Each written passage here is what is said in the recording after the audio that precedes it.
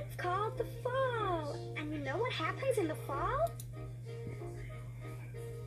The weather starts getting colder and makes the trees shake and shudder. And then all their leaves fall off. Right.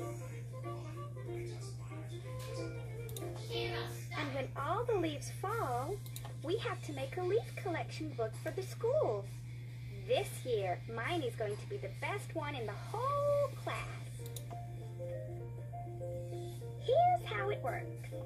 I have to collect as many different leaves as I can. One leaf from each kind of tree in the neighborhood. When I find a new leaf, I paste it in this book.